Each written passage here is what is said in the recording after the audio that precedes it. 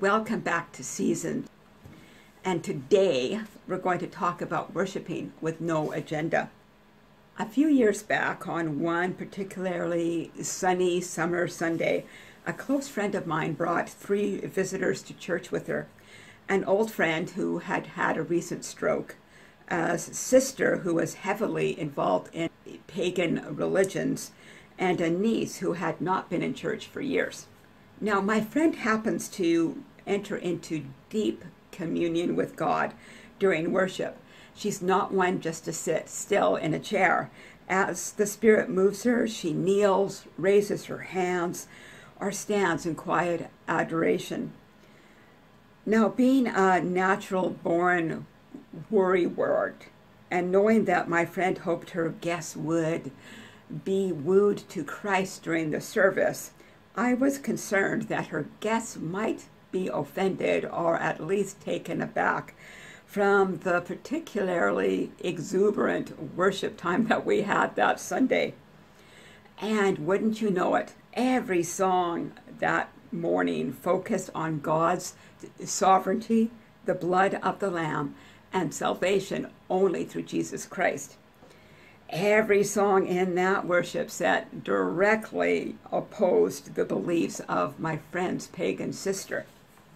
But my friend didn't hold back that Sunday.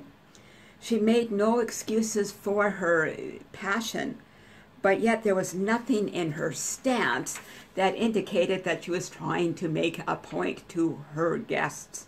She just wanted to bring pleasure to her king.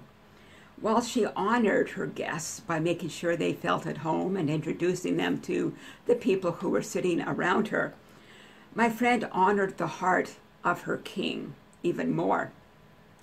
God calls us to worship him in spirit and truth, being our authentic selves without trying to bring attention to ourselves, but without trying to inhibit ourselves so we don't draw attention to ourselves.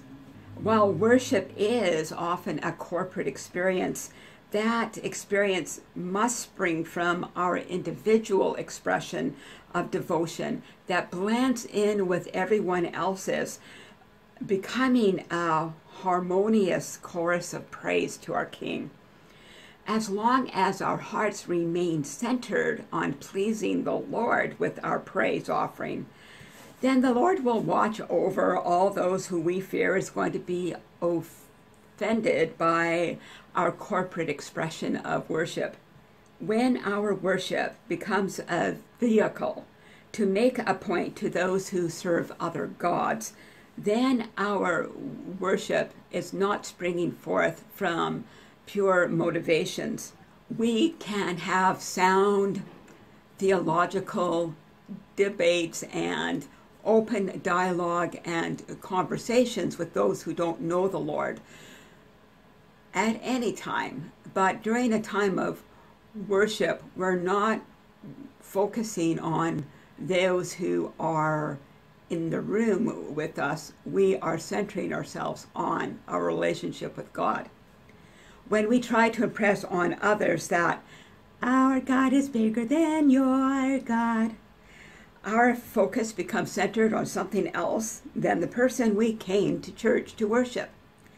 It's not pleasing to the Lord, and such behavior doesn't draw anyone to the Lord.